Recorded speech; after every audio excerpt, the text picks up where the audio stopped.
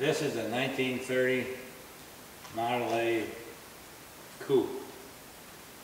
It has a rumble seat. It has side mounted spare because I have a trunk in the back where the normal spare would go. It's a stock engine with all the Model A horns, the idiosyncrasies that Model A's have. Once you own a Model A, you're never done working on it because it's a constant,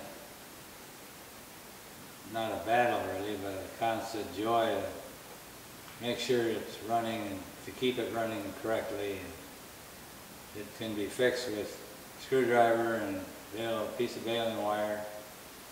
When you look at the new cars today, this is so simple.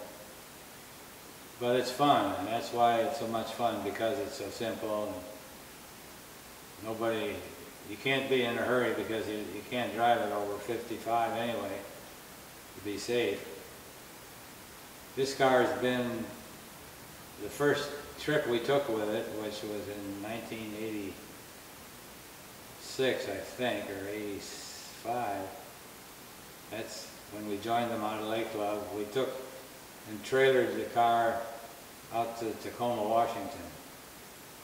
And of course, that's a long drive, so that's the reason we trailered it. But after we got out there,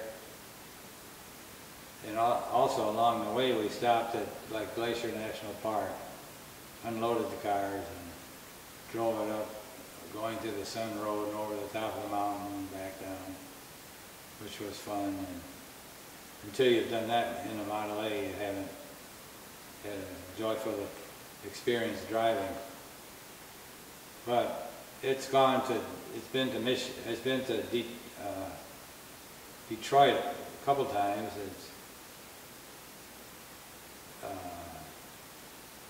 Canada twice.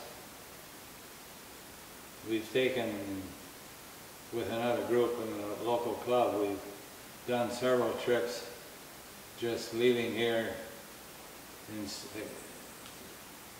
expecting to spend like 10 days on the road and wherever it leads us, that's where we'll go. It's amazing how much fun a trip like that can be with four or five old Model A's and no place to go in a hurry. I just don't know how to explain the joys of the Model A until you actually own one. It can be troublesome and, and stubborn and hard to work on sometimes, but when you, when you're done, it's fun. And this was the first one, first old car you bought, wasn't it? This is the first old car, yes. Before you were buying old cars because it was an older time. Yeah, the second one was a Chevy. And then the other Model A we'll talk about in a minute. And then the convertible was the last purchase we made. And same as the other cars, we've got photos of grandkids riding in the rumble seat, riding in parades. Yeah, we've got countless photos.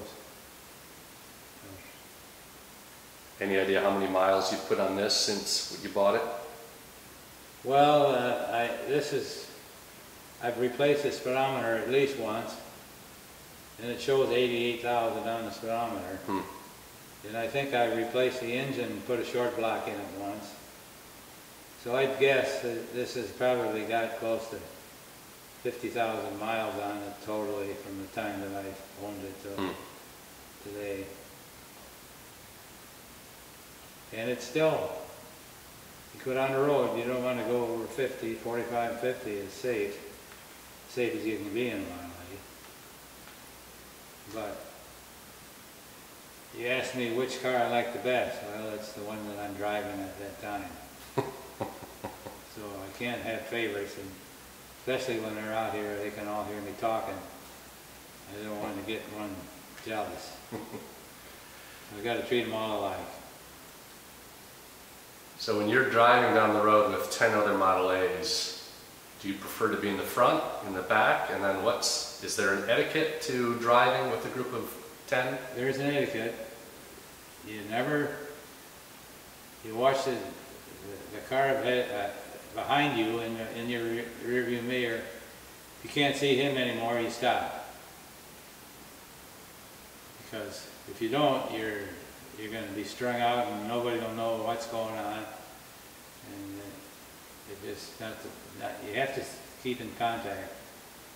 All my, all, all these cars got CBs in them, which is pretty antique anymore. Everybody's got cell phones, so we don't really use the CBs like we used to.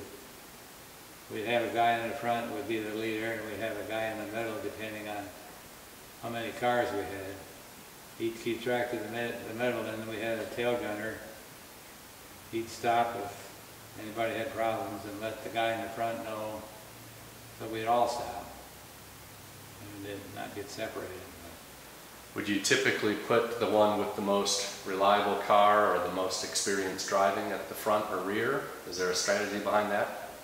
Well, it's important that the guy in the front knows where he's going. Other than that, that's about it. Okay.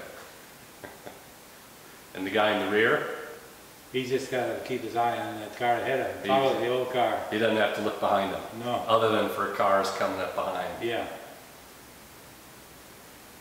And we try to keep space enough so that, you know, you get a- an anxious driver and ninety-five percent of the cars that get in behind the of Lapery aren't anxious before too long. So we try to leave enough room so the cars can pass safely. You don't want to get too far spread out or you, you can't drive too close, because that's not safe either.